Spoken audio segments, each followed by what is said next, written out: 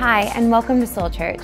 Our prayer is that this service encourages you wherever you may be in life. Drop us any questions or comments you may have below. We've been hearing so many amazing stories about what God is doing in people's lives, and we'd love to hear yours. Take a second to send your story to stories at soulchurch.com. Thanks again for joining us today, and we hope you enjoy the service. God bless. As it is in heaven, it is in me. Can we say that again? As it is in heaven, it is in me.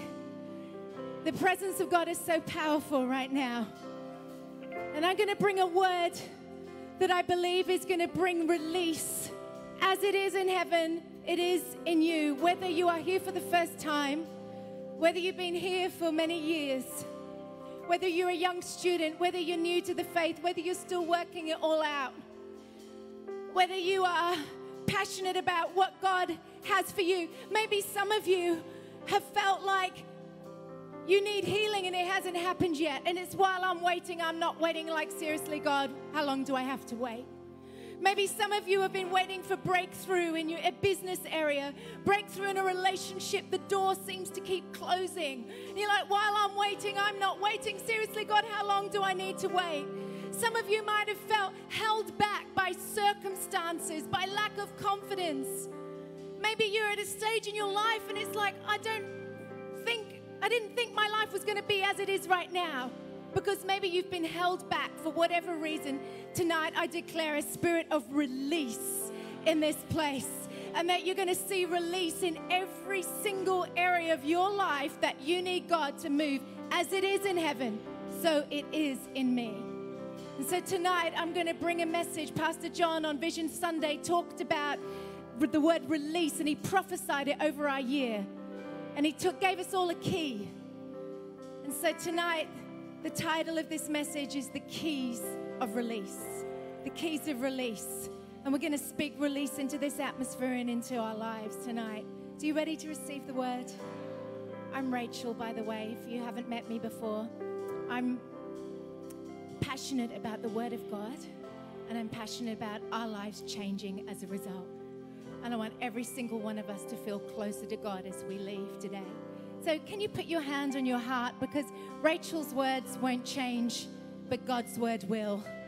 And I'm going to pray that this word speaks directly from his heart through my heart to your heart. So, Lord, for every heart that's bowed before you, I don't know what's going on in every heart, but you do.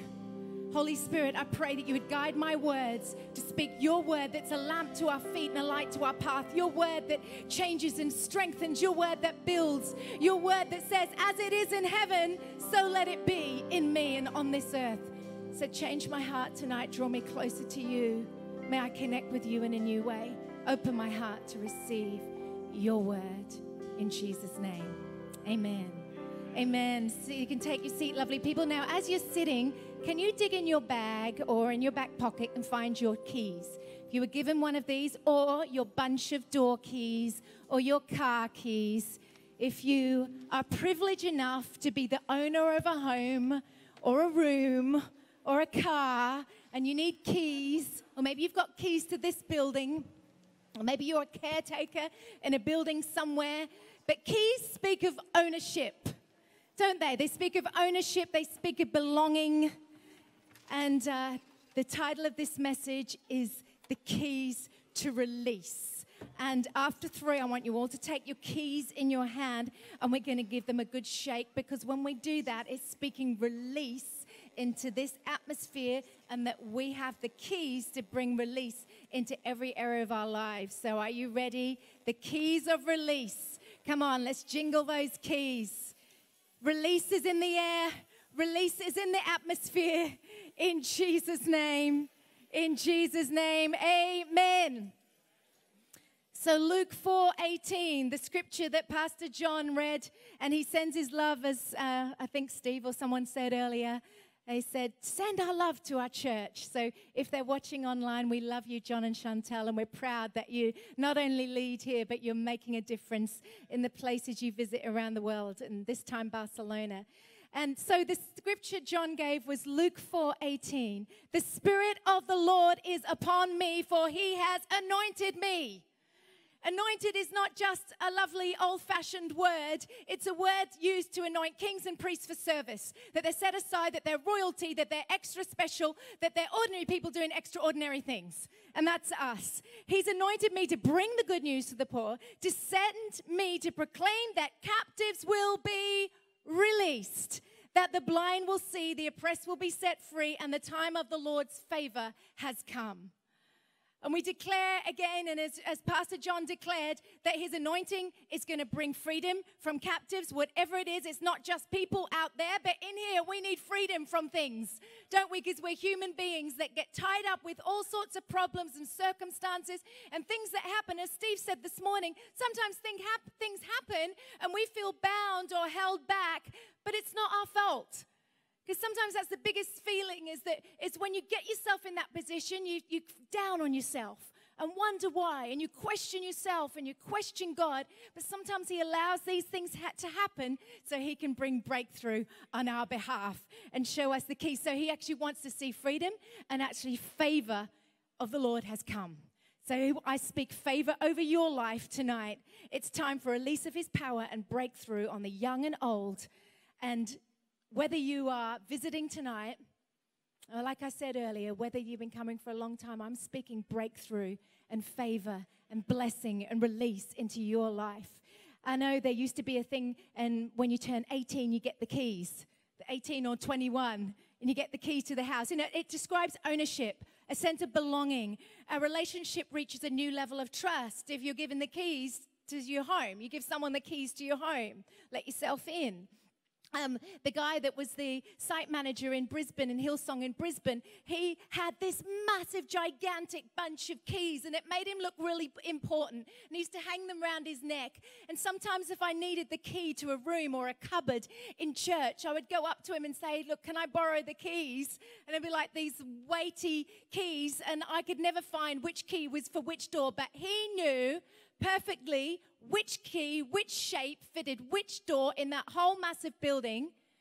Not just because it made him look important, but he actually took real ownership and he looked after the house of God like his own house. Sometimes keys are a symbol of, of, of excitement for something new, opening a door. You know, when you go to a, a hotel, we went away for a night this week, Steve and I, and you unlock that door and you're like, what's our room going to be like?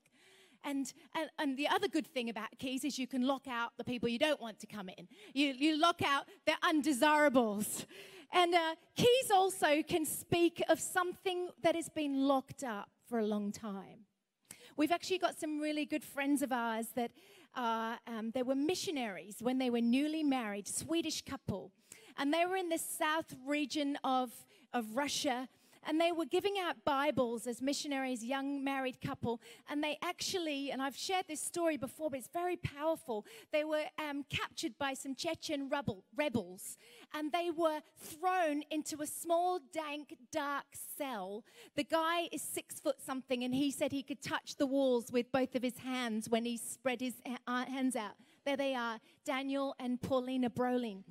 And they were put in this damp, dark cell, and there was there was mice and there were lice, head lice. And she said, Rachel, I was in the same clothes for weeks.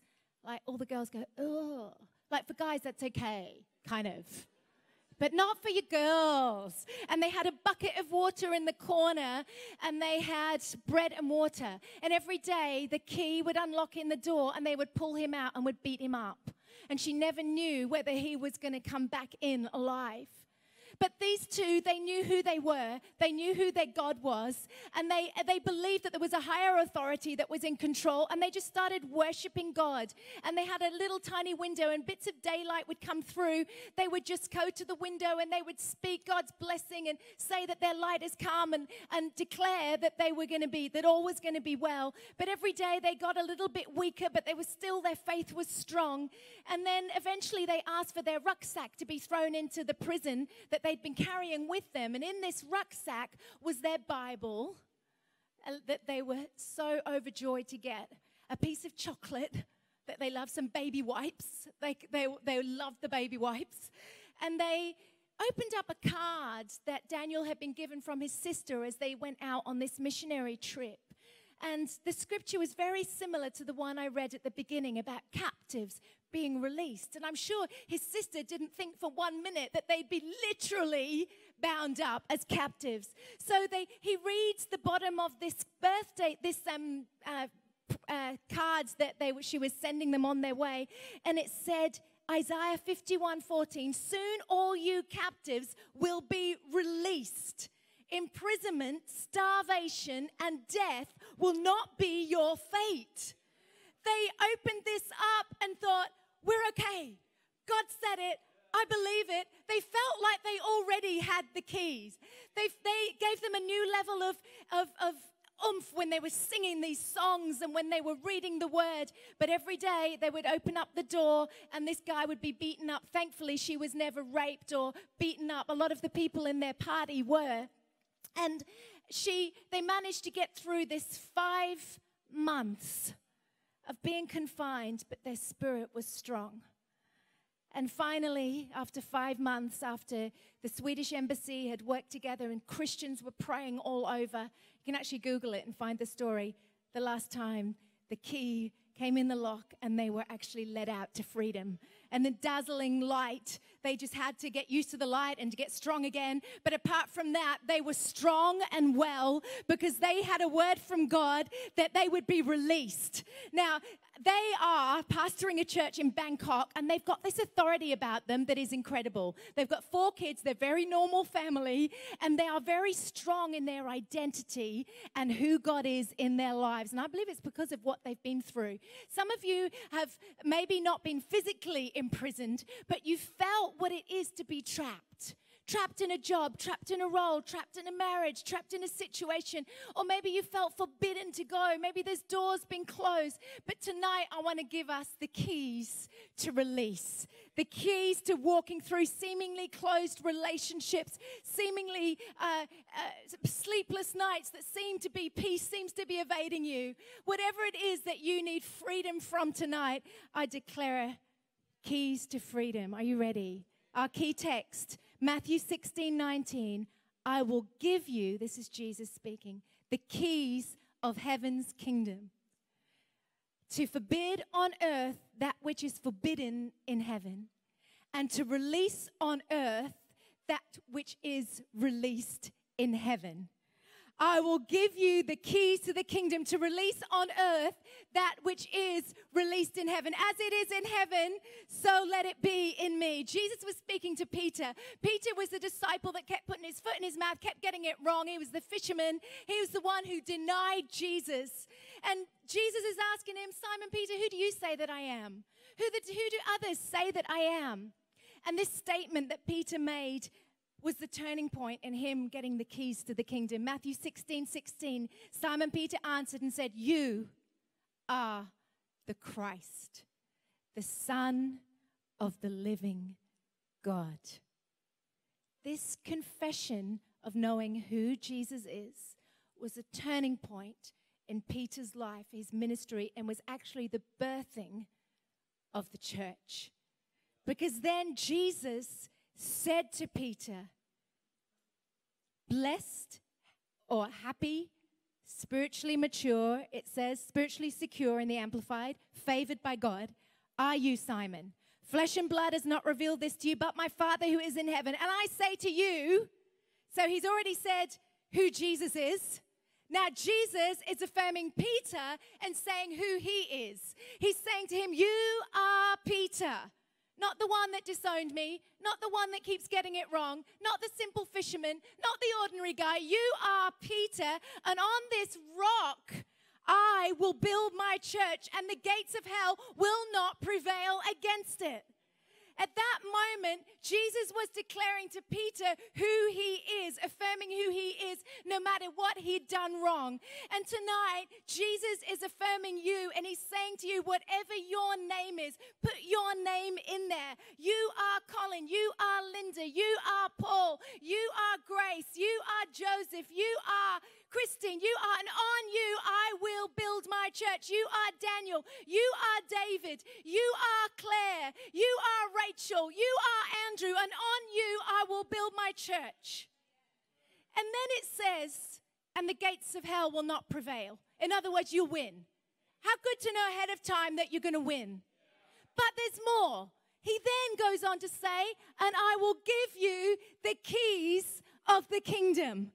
And what is bound on earth is bound in heaven. What is released on earth is released in heaven. So, first of all, we have Peter's realization of who Jesus is.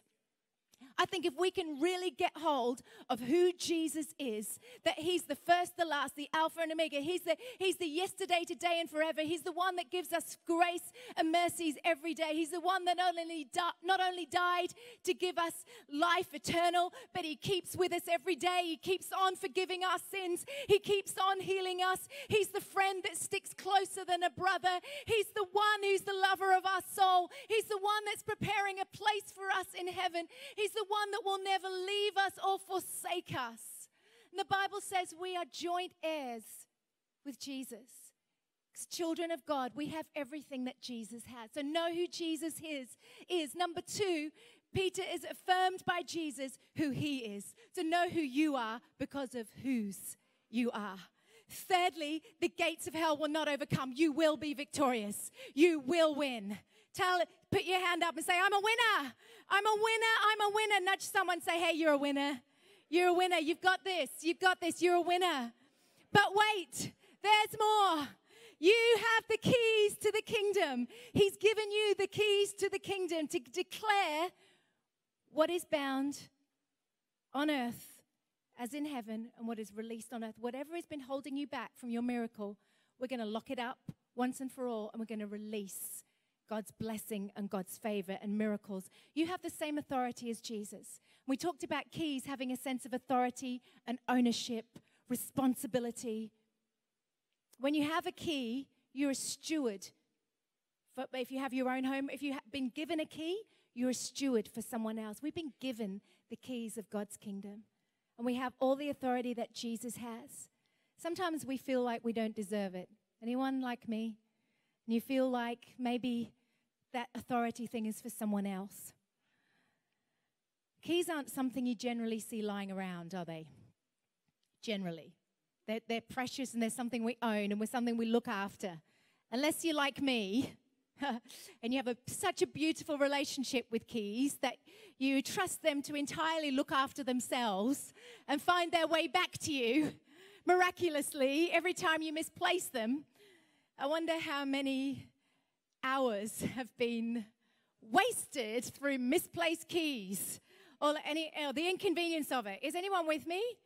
Or, or maybe you've got one of those keys that one of those cars that you start by pushing the button and then you run back in the house with your keys to get something. You get back in the car, you drive to where you're going, and then you realize you haven't got the keys to get back again.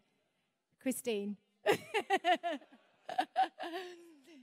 So I'm saying that to say that sometimes we think the authority is for someone else, or we get too busy, or we get distracted, or we get too excited, or we lose heart and we forget what we've been given. We had a really awesome couple of days in Disneyland Paris at just after Christmas time.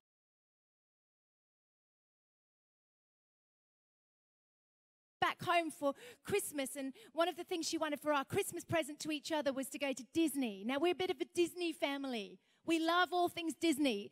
Steve, bless him, had two girls and a wife who loves all things Disney. So he's just, if you can't beat him, join them. So he knows all the Disney princesses.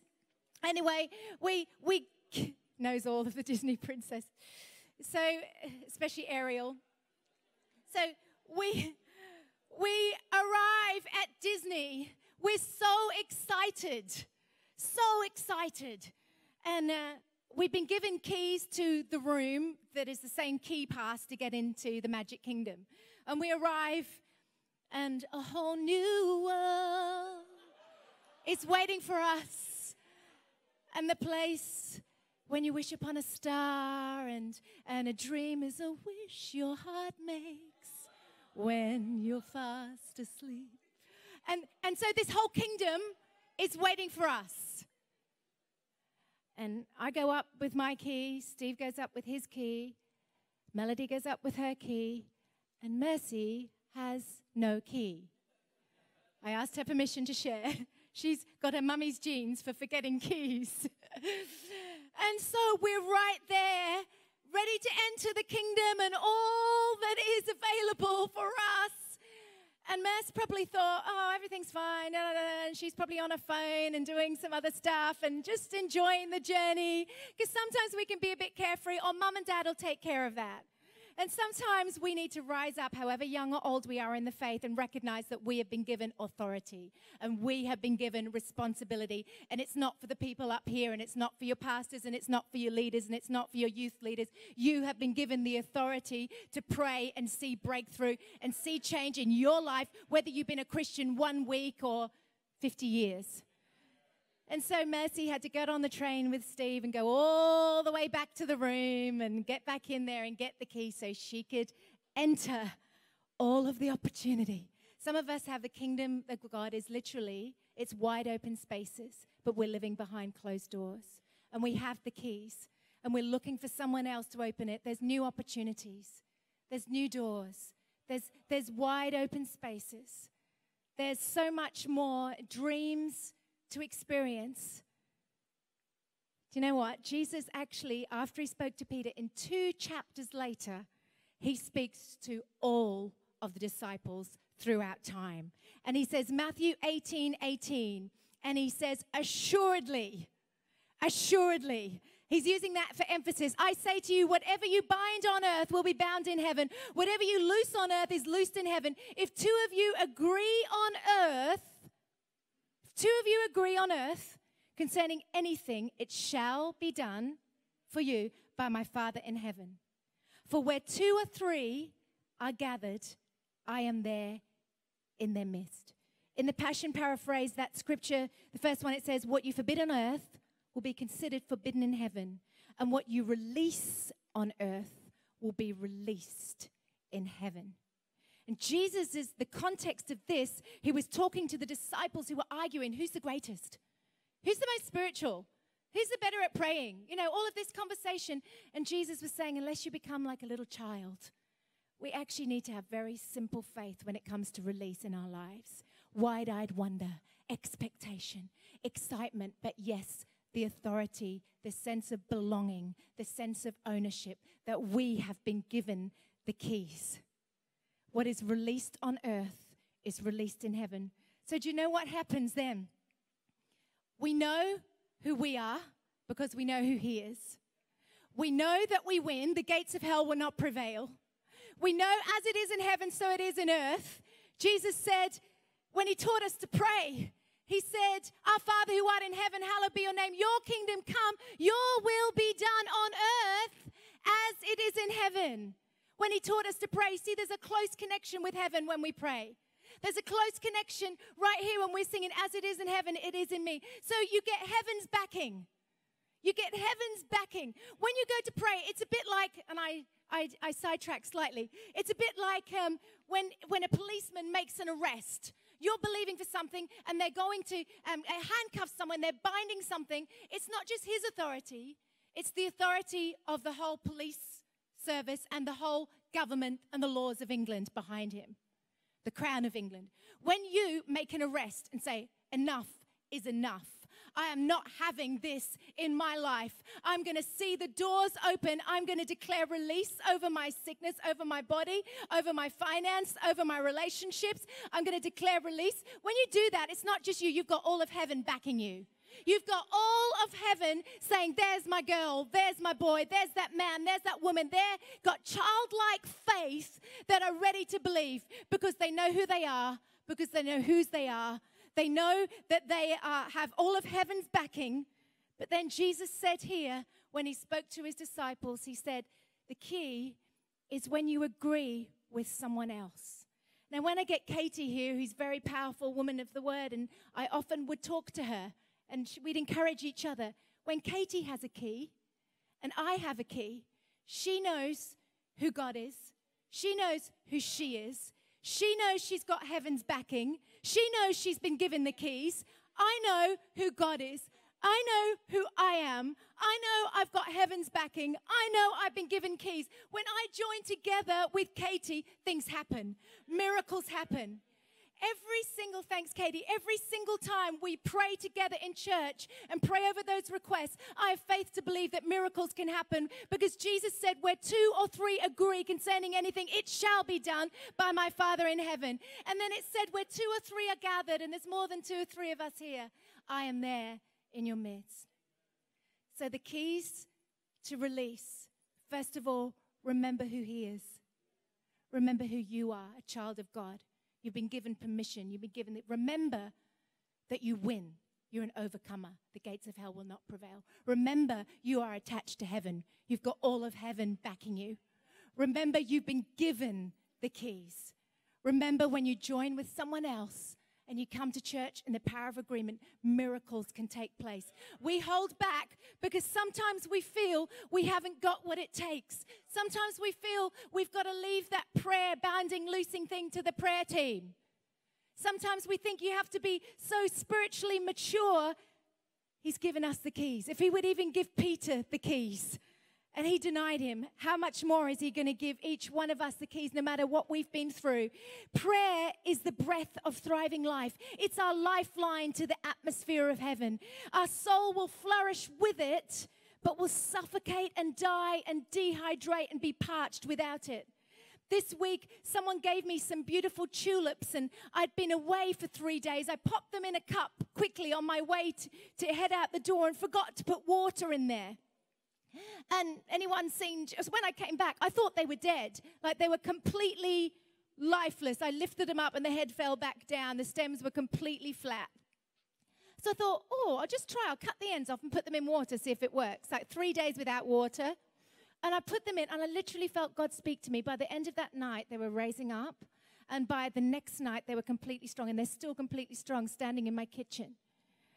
I believe the word of God would be to you. Some of you have felt like you haven't had the keys to release. You maybe haven't not haven't been praying for a while, and you feel like if I start praying, I think it's just too far gone. I feel too parched. I feel like God hasn't answered for a long time. I feel dry on the inside. He's saying to you, you just bring a little breath that attaches to heaven, and it'll be like water to your soul.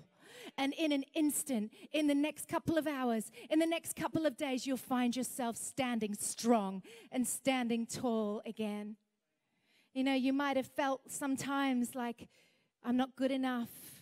Like I'm a single mom, I'm a student, I'm trying to make ends meet, I'm a busy business owner, I'm a grandparent. I feel like sometimes I'm past my, my use day or sell by day. But is there still more for me? Or maybe you sometimes feel so ordinary and, and to have influence and you get frustrated at God.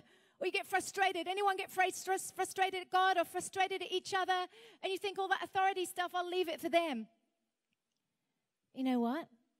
James 5 16 says, Confess and acknowledge that you have offended one another, and then pray for one another to be instantly healed. For tremendous power is released through the passionate, heartfelt prayer of a godly believer. Tremendous power is released through the passionate, heartfelt prayer of a godly believer. And then it says Elijah was a man with human frailties, just like all of us. And he prayed and received supernatural answers. He actually shut the heavens over the land so there would be no rain for three and a half years. Then he prayed again, and the skies opened over the land, and the rain came and produced the harvest. Finally, as members of God's beloved family, we must go after the one who wanders from the truth and bring them back the one who's parched, the one who feels like I haven't had a release from a long time, the one who's drifting away. I texted someone last week that she felt she was drifting. She felt disappointed. She's been let down. She was longing for God. And I, I, I texted her, and it was the right scripture at the right time. And she replied with tears to say, I know God is with me. There are people we've got to go and bring back, and we've got to bring water to their soul and recognize that they can have release on their lives. Elijah was an ordinary man, like we're ordinary, and yet he prayed. Tremendous power is released through passionate, heartfelt prayer. Peter was very ordinary, but yet Jesus trusted him to build his church. Matthew 10:8 says, "Freely freely you have received the power of the kingdom, so freely release it to others. Freely release it to others. Remember who He is. Remember who you are. Remember you win. Remember what you you have a connection with heaven. Remember what you've been given, the keys to the kingdom. Remember you are agreeing with someone else, it doubles the amount of power available. And remember when we gather, He's promised to be here. He's here right now. His presence is here now. He actually hears your heart cry. He hears those things that are going on in your head and mind right now. Yeah, I don't know if He can do that for me. He hears that. He gets it. He understands. And I believe that tonight we're going to have some of us together standing and even putting a hand on your shoulder, standing with you and believing together. We're going to see release and breakthrough that can happen instantly in Jesus' name. And some of the things I'm believing for release for, first of all, a release of His Spirit. At the start, I read the scripture, the Spirit of the Lord is upon me. This is Jesus being because He's anointed me. We need His Holy Spirit to enable us to live the Christian life. We need His Holy Spirit, part of the Great Commission. When Jesus went to heaven, He said, I'll send you the Comforter, I'll send you the Holy Spirit. He knew we couldn't do life on our own. And so we've got God and we've got Jesus, we've got the Holy Spirit who's our day to day companion, who can live in us, who can enable us, who can strengthen us, who can be our greatest friend. Now, some of you have been locked, have been bound, have been held back there's obstacles that have prevented you from receiving the fullness of His Holy Spirit. For some of you, it might be that you thought that was for days of old. For some of you, it might be, is, is it weird? For some of you, it might be, am I good enough? Some of you, it might be that you just haven't had time to think about it. For some of you, it might be just nervousness of what if it happens? What if it doesn't? Whatever it is that's hindered you, I'm going to trust that tonight you'll be able to take the keys of the kingdom and you, those thoughts and whatever it is that's held you back, you're going to lock them away once and for all. And we're going to release the Spirit of God into your life. Psalm 104, verse 30 says, When you release your spirit wind, life is created, ready to replenish life on the earth. Like those tulips coming up, your spirit wind of God will bring fresh creativity, fresh life into your relationships, fresh life into your marriage, fresh life into your relationship with Jesus that might have become stagnant. Jesus said in Acts 1 8, You shall receive power, ability, efficiency, and might when the Holy Spirit comes on you, and you will be my witnesses. You will cause others to be released to the ends of the earth, Norwich, Norfolk, at the ends of the earth, because you experience the release of God through the power of the Holy Spirit. And who can receive that? In Acts chapter 2, on the day of Pentecost, when we first see the Holy Spirit coming upon all the disciples, and they spoke with a heavenly language, and 3,000 people came to know Jesus that day. It was an incredible day at the start of the early church. And Peter gets up, this same Peter gets up and says, You shall receive the gift of the Holy Spirit. This promise is to you. Who's it to? You and your children and to all who are far off, as many as the Lord will come. Whether you feel near, whether you feel far, this promise is for you. This promise is for you. And then, how do we receive His Holy Spirit? We ask. And in Luke 11, it says, Ask and you shall receive, seek and you shall find, knock and it will be opened. And then it goes on to say in Luke 11 13, if imperfect parents know how to lovingly take care of their children and give them what they need, how much more will your heavenly perfect Father give the Holy Spirit's fullness when his children ask him? So tonight, for release of the Holy Spirit, some of you are going to receive the Holy Spirit in a new, powerful way. And you're going to remember who he is. You're going to remember who you are you're going to remember that you win. You're an overcomer. You're going to remember you have a divine connection with heaven. You're going to remember that you've been given the key to this situation. And you're going to remember that when someone else joins with you, there'll be great power released. And I believe many are going to be filled with His Spirit. Secondly, a release of salvation. Acts 13 47 says, This will fulfill what the Lord has commanded us. I've destined you, Soul Church, to become a beacon light for the nations and release salvation to the ends of the earth. A release of salvation. And I declare that that release of salvation is not just going to be people coming for the first time, and it will, but tonight I believe God's heart is for those that are coming back for those that have once been here and the enemy is holding them back. But he's given you the key to see them released. I was reading a book a couple of years ago by John Maxwell on intentional living. And he said in there, as a means of finding your calling, he was saying, What makes you cry? And I remember thinking, what actually would make me cry? There's a few things, you know, and you have those moments when you cry, but what, make, what would make me really cry? And I was sharing actually with our staff on Tuesday the thought of Melody, my daughter Melody and Mercy, walking away from God. That brought tears to my eyes. And then I thought of four teenagers that I knew at the time that were on the fringes, that were walking away from God. People had misunderstood them, they just got busy. And I felt God say, Go after them. And I'm like, They're 18. I'm 49 this year. What are they? What are they? they uh, what? And I just felt I needed to go to them, treat them for lunch, and listen to their dreams and encourage them and see a spark of love for God. The embers were just needed rekindling. Two of them started Bible college. One of them started coming back and, and being involved in leading youth again because I went after them. I believe God for a release of salvation. He's calling us as a church to go after those that we know that have once been here. And some of you have got children and you've cried to God for those children. This is a year of release. This is a year of release. And I'm declaring that you will, that which has, has hindered them and prevented them from coming back in the past, you will see freedom in Jesus' name. You've got the key to unlock what has been preventing them, what has been forbidding them to come back. We have a saying about going to our new building, we're coming home. We need to say, they're coming home. They're coming back and speak it. I remember one time in church, there'd been a lady that had that I'd prayed for, and and I'd, we'd gone back to England. She'd become a Christian. She was actually a neighbor that I'd met when I was out walking one day, and I'd invited her to church. She'd become a Christian. We'd gone back to England at that time for a couple of years, and we moved back to Australia again. And I asked around, "Where is she? I've not seen her." And they said, "Oh, we haven't seen her for a while." Oh, oh she had a real amazing encounter with God, and I lost her address. And I remember in that service that night, they asked us to write down people's names that were on our heart that we, we hadn't seen in a while. And I wrote her name down, and we prayed over these names.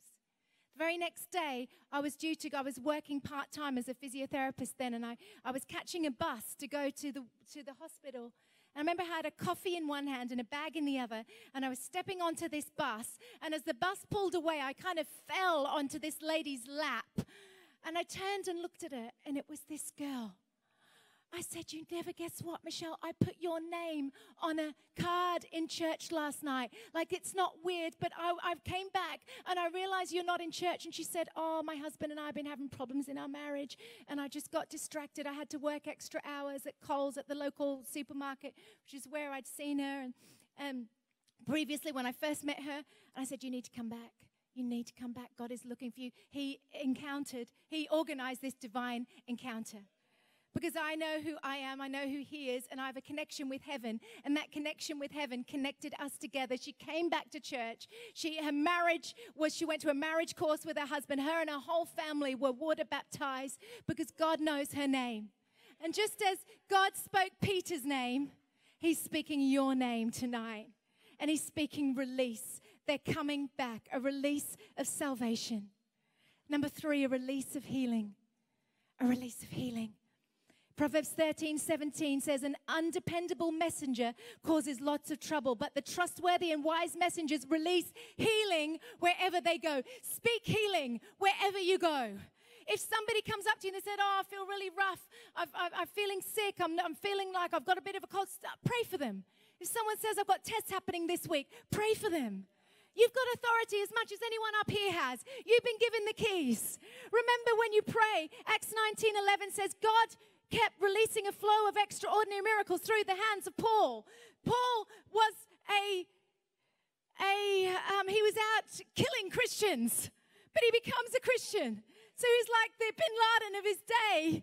And he's and like God uses him for goodness sake to bring Christians to come to know Jesus. He can use any one of us to see miracles happen and to see breakthrough. And how do you do it? You remember who he is. You remember whose you are. You remember that you have the keys of the king. You remember you are connected to heaven. You remember you win. You remember the power of agreement when you join with someone else. You remember his presence is here. And all of those things will give you breakthrough. And I'm going to believe whatever's been restricting you pain, internal pain, external pain. Some of you have gone through some emotional trauma. He's going to give you, and your thoughts are running away with you. You're going to lock up those thoughts tonight once and for all. What is bound on earth is bound in heaven. You've got all of heaven backing you as you say no to those thoughts. Some of you haven't been sleeping, as I said earlier. You're saying no to no more sleepless nights in Jesus' name.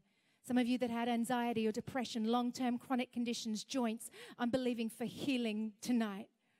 As you believe for healing, remember who God is. Remember who you are. Remember you win. Remember, you've got all of heaven's backing. Remember, you have the keys to the kingdom, not someone else. You have the keys. Remember the power of agreement. Remember, his presence is here, right here, right now. We forbid pain, release healing in Jesus' name. And number four, lastly, a release of favor and peace and blessing. Colossians 1, verse 1 to 2 says, May God our Father release upon your lives the riches of his kind favor and heavenly peace through Jesus Christ, the anointed one. And then it says in Psalm 36, Lord, keep pouring out your unfailing love on those near you. Release more of your blessings to those who are loyal to you. Psalm 40 says his favor lasts a lifetime.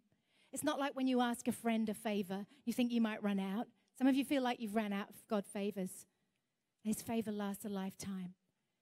Actually says his blessing or his favor makes rich, makes your life rich and adds no sorrow. He actually wants to favor you. I noticed that for years I would write my dreams in a diary. I'm a dreamer.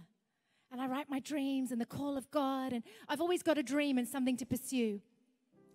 And I remember in the move from Australia to here recently in June, July, August actually, we are so busy with the move. And even in this last six months, so busy with everything that we needed to do.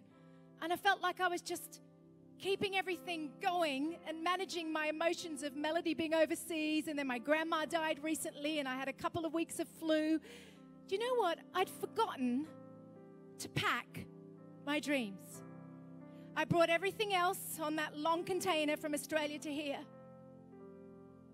Actually, Alan challenged me once about it. We hadn't been here long. I'd forgotten. Some of you have gone through transition. Might be marriage, change,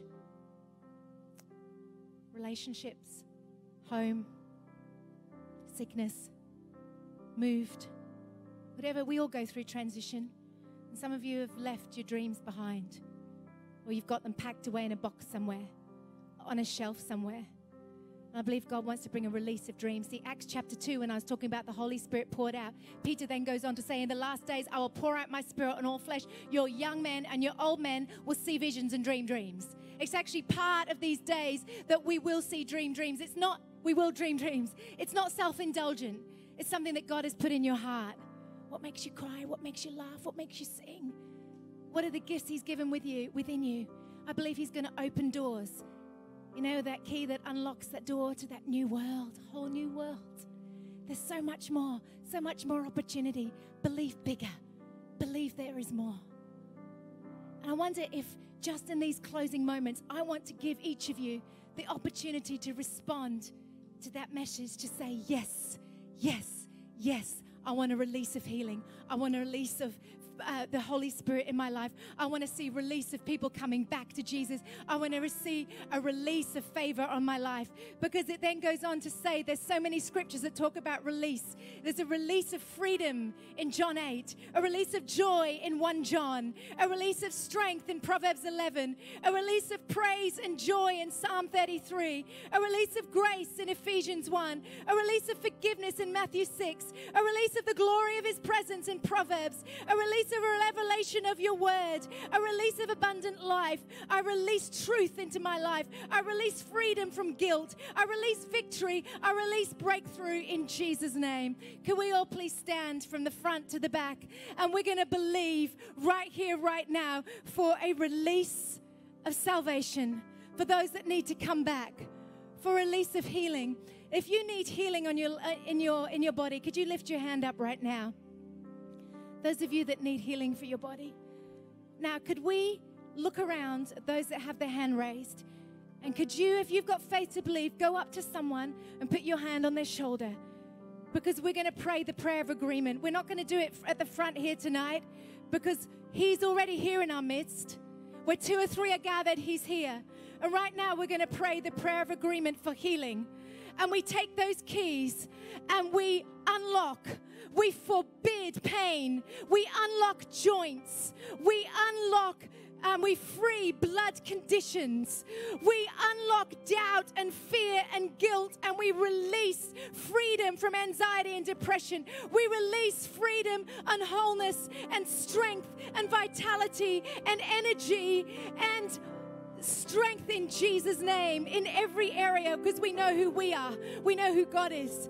We know that we have the keys to the kingdom. We know we have all of heaven backing us. We know that we have our friends standing with us in agreement. And we believe right here, right now for miracles. That's it. Take it. Receive your miracle in Jesus' name. Receive your miracle. Those of you that need to be filled with the Holy Spirit and you've held back, I want to see your hand as well. Can you wave at me? You want a full release of the Holy Spirit in your life, and for whatever reason I talked about earlier, you've held back and there's been a, a blockage, something that's holding you back. If that's you, I want to see your hand. You want more of the Holy Spirit, or you want to be filled with God's Holy Spirit for the first time. Over here, I want you to see your hands raised. If you want to receive the Holy Spirit, a couple of young men now, those of you that are filled with the Spirit of God and you feel um, that you have the authority, I want you to step out and put your hand on their shoulder. I want you to pray in your heavenly language. I want you to speak release into their lives in Jesus' name. What is holding you back is free right now, right here, right now. You know who you are, you know who God is. You know you've got all heaven backing you. Ask and you shall receive. It's your Father's good pleasure to give you the gift of the Holy Spirit. You have the authority of Jesus Christ. You are good enough. You are worth it. Now I want you to start to speak out in a heavenly language that He gives you. Start to say thank you for your Holy Spirit. Flow through me, speak through me, love through me, Holy Spirit. In Jesus' name in Jesus' name while I'm waiting. I'm not waiting. Heaven lives in me. Those of you that need a release of favor, a release of people coming back to Jesus, can you raise your hands as well while the others are still praying? And could someone else could join together and put your hand on their shoulder? Pray a prayer of agreement. We're believing for loved ones to come back to Jesus. We're believing for the sons and daughters. We're calling them back. We're calling them back in Jesus' name. We're speaking release in their lives, a release of salvation. And we're speaking a release of favor. There will not be waiting, but this will be the year of breakthrough. This will be the year of dreams stirring up. This will be the year of creativity. This will be the year of open doors. This will be the year of dreaming again. There is more in Jesus' name. Come on, let's sing. Thanks again for tuning in. If you said the salvation prayer today, we'd love for you to email connecttofaith at soulchurch.com so we can talk a little bit more about this incredible decision that you've just made. And if at any point in the service you felt moved to give to any of our local or global initiatives, then head to soulchurch.com and click on giving at the top of the page. We're so glad you tuned in today, and we hope to see you again soon. God bless.